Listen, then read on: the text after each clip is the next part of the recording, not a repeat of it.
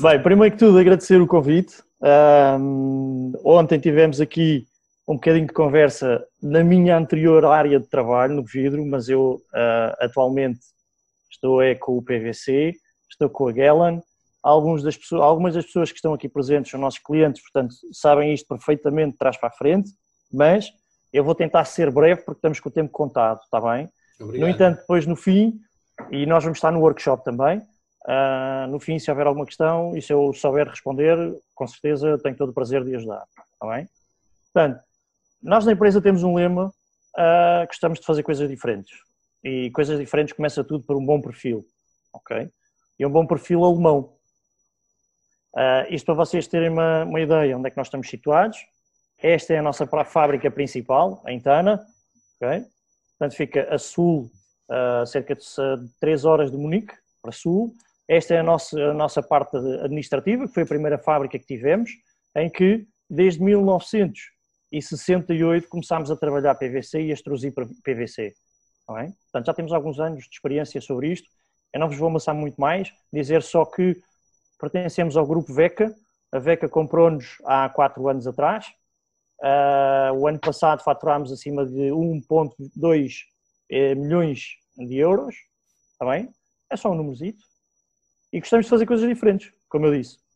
E fazer coisas diferentes passa por ter algo diferente daquilo que existe no mercado. Okay? Aquilo que existe no mercado é perfis de 70mm com 5 câmaras e valores de 1.3. Nós gostamos de fazer diferentes. Temos 74mm, 6 câmaras. Okay? na primeira versão, na primeira série, ou seja, na série mais uh, comercializada em Portugal, devido a renovações que normalmente 74mm entram quase toda a renovação. Aqui a grande diferença é nós temos um perfil de 74mm com espuma metida e com um sistema chamado STV, que é um vidro colado. Está certificado a Passive House para o clima em que nós estamos situados. Ou seja, na Península Ibérica existem dois climas, seja duas zonas climáticas, a quente, onde nós estamos inseridos, e a quente temperada, vimos ontem com o João, está bem? E nós temos as nossas séries todas, desde a 74 a 82,5 e a Cubos, que é a nossa menina dos nossos olhos, certificadas para o nosso clima. Portanto, estão completamente à vontade em pedir os certificados que nós temos sobre os perfis. Tá? Neste caso específico de 74 milímetros, temos a tal espuma metida para fazer um isolamento, não necessitamos de meter reforço em ferro, isto é muito importante, mas desde quando nós uh, trabalhamos com o sistema de STV.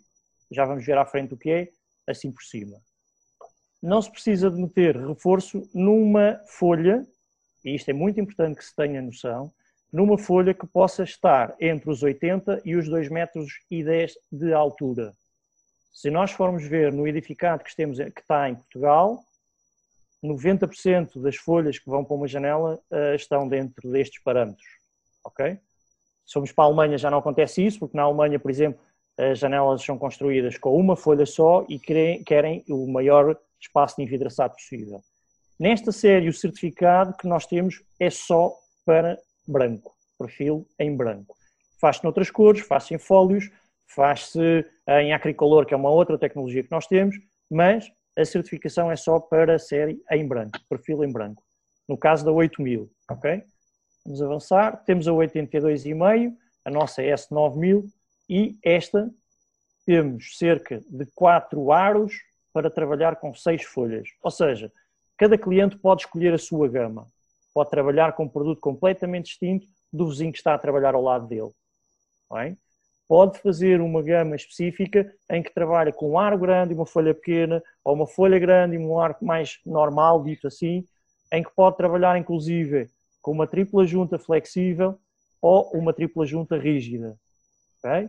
Isto depois, no workshop, vamos, vamos uh, falar um bocadinho mais sobre isto e quais são as principais diferenças e mais-valias de umas e de outras.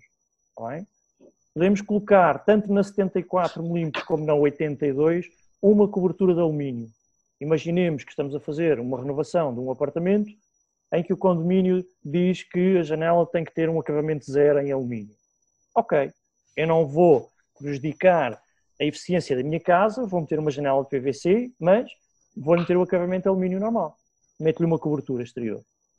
Isto é clipado na face exterior, tanto da folha como do aro, e fica à cor que vocês quiserem. Abrimos o leque, inclusive do RAL, das cores do lacado. A menina dos nossos olhos, como eu vos disse, é cubos, tem 100 milímetros de vista a toda a sua volta e em que todas as tecnologias estão empregues aqui. Isto é uma série de folha oculta, como vocês podem ver pelo desenho, okay? vai ser completamente oculta e já estamos a falar de valores U's, F's, U, F, portanto, o valor do frame, do aro, do ar, da janela, de 0,88. Okay?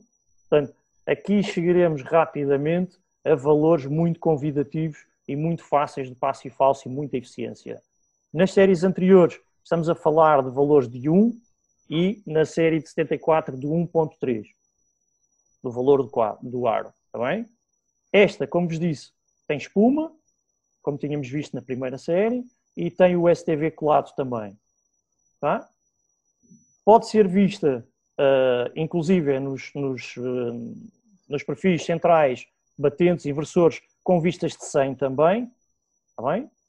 E pode ser instalado de várias maneiras. Completamente oculto, completamente à vista ou semi-oculto. Okay? Logicamente, num completamente oculto, nós temos que tratar do substrato por causa dos deságuas da água, por causa das saídas de água. Logicamente, também aqui será feito na cara do aro e aqui terá que ser feito uh, por outro sentido, normalmente por baixo.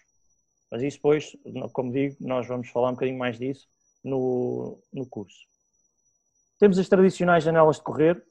Uh, eu gosto de dizer que para mim não existiam, porque a nível de eficiência térmica é aquilo que nós sabemos, temos aqui os valores. Não vale a pena estarmos a falar muito sobre isto, mas é um, é um mercado, infelizmente, Portugal é um mercado que gasta muita janela de correr, muita janela de correr. Uh, ao contrário, por exemplo, de Espanha, não gasta tanto, mas temos que as ter. Temos as eleváveis, em que podemos trabalhar com folha fixa alta ou uma folha fixa mínima também, para ter mais vista. E temos uma, uma versão que ainda ontem falámos, que era uh, as janelas de correr normalmente não têm grande eficiência, têm valores UFs muito altos.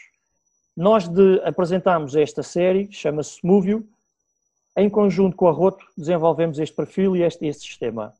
O que é que isto é? Não é mais do que uma janela de correr, que ao contrário das restantes janelas, não tem que se levantar, afastar e correr, não tem que uh, trabalhar com uma borracha de vedante central, não o sistema afasta 8 milímetros e quando fecha, esmaga a borracha em 8 milímetros. Portanto, a eficiência da janela vai ser exatamente igual a uma, uma janela de, de abrir. Okay? Estamos a falar de valores USEFs na casa de 1.4. Okay? Não é uma série que ainda está, uh, já está a ser comercializada, mas estamos a tentar fazer mais esquemas de possibilidade de montagem e estamos a tentar baixar o valor de, de U.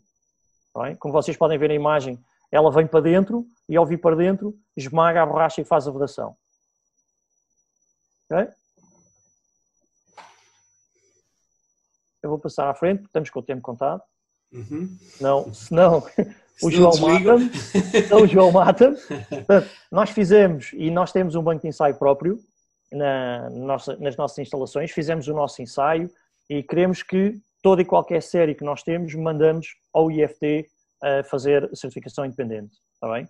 Não somos nós que as fazemos, não somos nós que dizemos que aquilo, ah, não, isto faz isto. Não, não, não.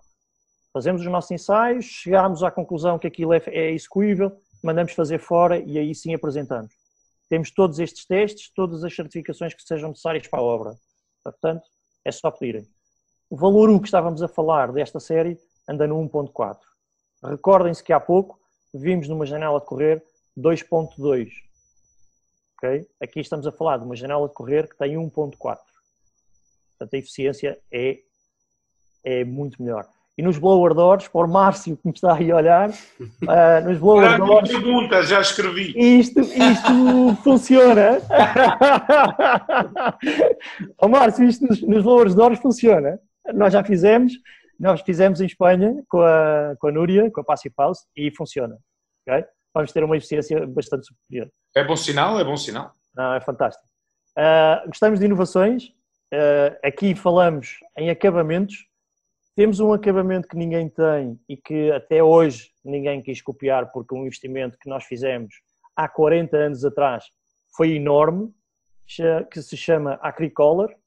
É uma tinta acrílica que é posta em estado líquido na altura da extrusão do perfil e é metida em fusão com, com a barra. Portanto, isto não se vai descolar, não se vai despegar, não vai mudar de cor e automaticamente é reparável desde quando não chega à base do perfil.